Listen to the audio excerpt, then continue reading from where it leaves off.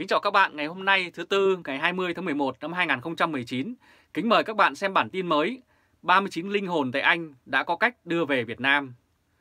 Vâng, trong thời gian vừa qua các bạn đã chứng kiến hình ảnh rất đau thương, đó là 39 người công dân Việt Nam đã bị chết đau đớn vì ngạt và đông lạnh tại Anh.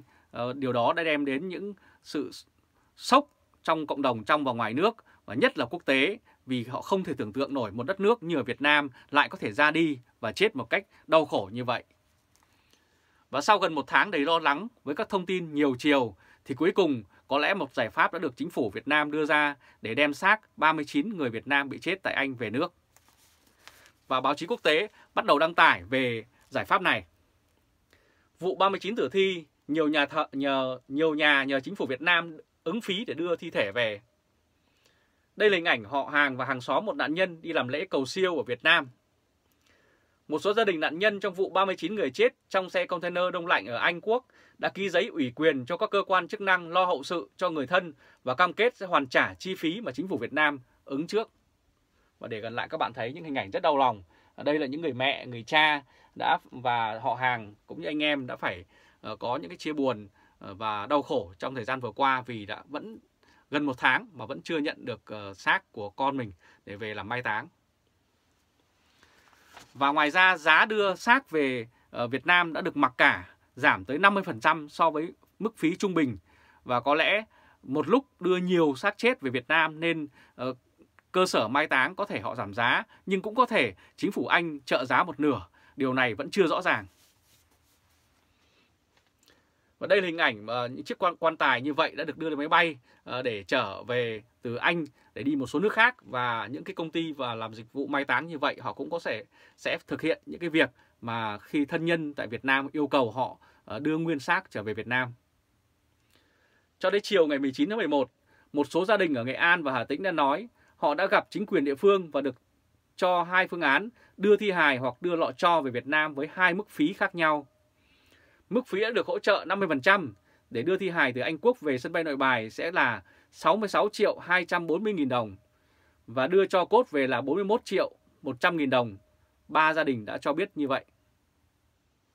Thì như vậy là với mức phí như, như thế thì không cao hơn so với phí trước đó đã được một số người tại Anh đưa ra nhưng cũng có thể vì lý do đã được giảm giá cho nên nó chỉ còn có như vậy. Và nhiều gia đình đã lập tức rút đơn nhận cho mà đổi lại, họ muốn nhận nguyên xác ờ, của thân nhân nhà mình. Và đây là hình ảnh của những nạn nhân nếu mà được đốt cho thì sẽ cho vào những cái lọ như thế này để gửi về Việt Nam.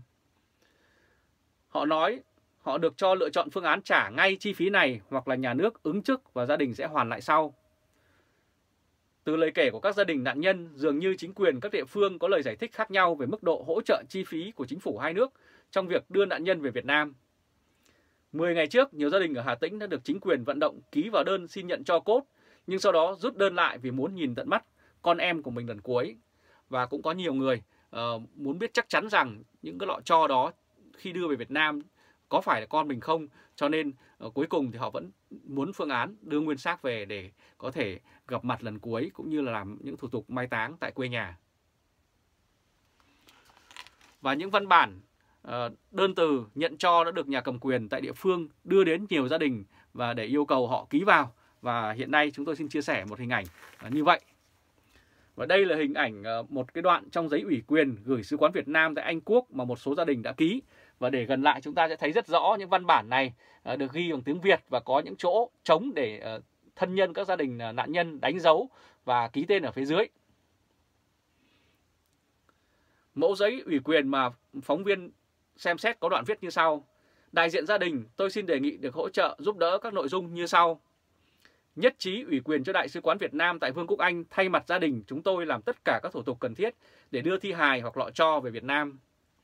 2. Gia đình tôi ủy quyền cho các cơ quan chức năng liên quan hỗ trợ đưa thi hài hoặc lọ cho người thân tử vong tại Anh về nước và gia đình xin tiếp nhận thi hài, lọ cho tại địa phương. Phần cuối của giấy ủy quyền cũng viết, tôi và gia đình đã đọc rõ, hiểu kỹ, hoàn toàn tự nguyện, không bị ép buộc và hiểu rõ quyền, nghĩa vụ, lợi ích hợp pháp của mình, hậu quả pháp lý của việc ủy quyền này và cam kết thực hiện đầy đủ mọi nội dung đã ghi trong giấy ủy quyền này. Và nhân chứng nói có hỗ trợ từ bên Anh. Và đây là hình ảnh của một trong những gia đình nạn nhân đó đang rất đau khổ và chờ đợi thân nhân của mình cũng như thi hài của con và cháu mình để về có thể làm lễ an táng. Từ lời kể của các gia đình nạn nhân, dường như chính quyền các địa phương có lời giải thích khác nhau về mức độ hỗ trợ chi phí của chính phủ hai nước trong việc đưa các nạn nhân về Việt Nam. Có hỗ trợ của chính phủ Anh và Việt Nam. Ông Hoàng Văn Hoa, cha của nạn nhân 18 tuổi Trần Thị Mai Nhung ở Diễn Châu, Nghệ An cho biết sáng ngày 19 tháng 11, chính quyền địa phương đưa cho gia đình ông giấy để ký tên vào, ủy quyền cho Sứ quán Việt Nam tại Anh Quốc làm thủ tục để đưa thi hài của con gái ông trở về Việt Nam. Ông cũng nói với gia đình đã ký vào giấy cam kết và chuyện chi phí được đánh máy sẵn theo mẫu rõ ràng của Sở Ngoại vụ, Bộ Ngoại giao Việt Nam gửi về. Họ nói là phải nộp 66 triệu 240 nghìn đồng. Cái tiền đó gia đình chúng tôi cũng đồng ý ký vô để đưa thi hài của cháu trở về. Họ cũng nói là giấy này ờ, là giá giá này là đã được hỗ trợ của bên Anh và bên Việt Nam rồi. Gia đình chỉ cần bỏ từng đó tiền là họ có thể đưa về sân bay nội bài. Ông Hoa nói qua điện thoại như vậy.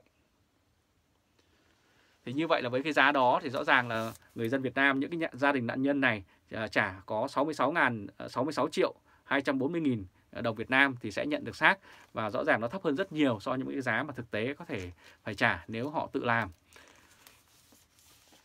Nhiều gia đình uh, hoàn cảnh rất khó khăn họ đã phải vay tiền của nhà nước Việt Nam để mang xác uh, con về mai táng và cũng chưa biết lúc nào uh, có thể trả lại được tiền này cho nhà nước. Đây là hình ảnh một gia đình một nạn nhân như vậy. Ông cũng cho biết là gia đình ông xin ký nợ nhà nước vì hoàn cảnh khó khăn, không có tiền để nộp. Bây giờ phải bán đất bán nhà mà trả nợ chứ sao. Con tôi nó mất rồi thì phải trả nợ chứ biết là kêu ai. Ông Hoa nói như vậy. Cháu về chậm ngày nào thì gia đình đau khổ ngày đó. Nên mong làm sao cho cháu về càng sớm càng tốt. Vợ tôi ngày nào cũng phải tiêm, phải truyền, không ăn được. Nằm liệt giường, liệt chiếu rồi. Sợ có khi đưa con về nhà thì mẹ đã chết rồi. Ông đã chia sẻ như vậy. Thì rất rõ ràng người dân rất đau khổ ờ, khi con của mình ra đi và cuối cùng đã gặp nạn và phải chết bỏ mạng ở Anh và cho đến thời điểm này đã gần một tháng ờ, nhưng những ờ, thi hài đó những cái vẫn chưa về được Việt Nam thì gia đình rất mong. Và thông tin nhân chứng cũng cho biết thêm là đã có sự hỗ trợ 50% nhưng không biết số tiền 50% này là do cơ quan nào, do Anh hay Việt Nam hay cơ quan nào tài trợ và giúp đỡ tiền 50% này. Đây là hình ảnh ông Võ Nhân Quế ở xã Thiên Lộc, Lộc Hà, Hà Tĩnh có con trai là nạn nhân Võ Nhân Du. Không nói rõ ai hỗ trợ. Chị Võ Thị Hồng, con gái của nạn nhân Võ Nhân Du, 19 tuổi, ở xã Thiên Lộc, huyện Thiên, uh, huyện Thiên Lộc, tỉnh Hà Tĩnh, nói cho biết gia đình chị đã ký giấy ủy quyền và xin nhà nước ứng trước mọi chi phí. Hôm nay gia đình có lên gặp chính quyền địa phương, họ đưa cho hai phương án với mức phí hai mức phí đưa thi hài về thì mức phí giá là 66 triệu 240 nghìn đồng và đưa cho cốt về thì mức giá thấp hơn một chút, tức là 41 triệu 100 ngàn đồng. Người ta giải thích là đây là mức giá đưa ra từ bên kia đưa về đến sân bay ở Việt Nam và họ nói có hỗ trợ 50% rồi. Người ta cũng không nói là họ là ai, chị Hồng nói với cơ uh, qua điện thoại như vậy. Đó là mức phí từ phía bên Anh về Hà Nội bài, còn mức phí từ nội bài về nhà thì nghe người ta nói còn có thể phát sinh và còn phải hơn như thế nữa. Và nhiều gia đình đã phải đi vay tiền người thân và bạn bè để đóng tiền để mang xác con về mai táng. Chị Hồng cũng cho biết ngoài gia đình chị còn có 4 gia đình khác cũng được mời lên Ủy ban Nhân dân xã sáng ngày 19-11 và cả 5 gia đình này cùng ký vào giấy ủy quyền đây là hình ảnh của nạn nhân Võ Văn Du, 18 tuổi. Có nguyện vọng được đưa thi hài em Du về quê, gia đình đã ký giấy cam kết sẽ trả lại chi phí mà chính phủ ứng trước, chị Hồng đã kể như vậy. Nhà nước đứng ra lo xong mọi thủ tục, xong công việc thì gia đình sẽ đi vay mượn chi trả cho nhà nước. Gia đình thì không có tiền tại vì tiền vay mượn để cho em đi rồi, sổ đỏ cũng đã cầm hết rồi. Ờ, chị đã nói như vậy. Chính quyền và công an tại Việt Nam thì lại nói chính phủ Anh không hỗ trợ tiền đưa xác về. Thì đây là một thông tin thêm của nhân chứng ờ, cũng đã nói ra.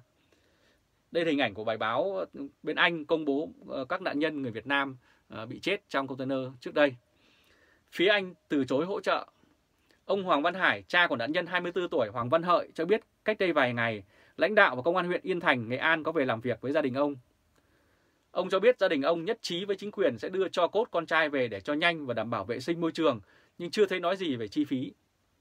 Hôm Phó Chủ tịch huyện và Công an huyện về, tôi hỏi họ có công văn hay văn bản gì của chính phủ thì cho tôi xem chút, thì ông ấy nói là đây là đang là bí mật, nên chỉ có trích một đoạn của công văn nói nước Anh từ chối hỗ trợ đưa thi hài về nước, ông Hải đã nói như vậy.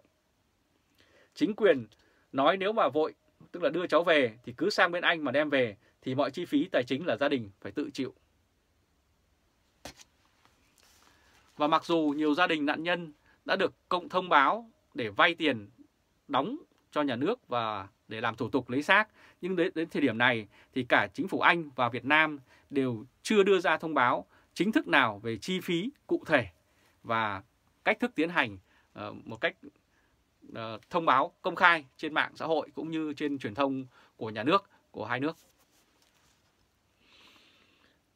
Ông Hải cũng cho biết gia đình ông đang gặp khó khăn lớn về tài chính vì bao nhiêu tiền thì dồn hết vào cho cháu đi rồi. Cho tới giờ phút này gia đình rất mòn mỏi.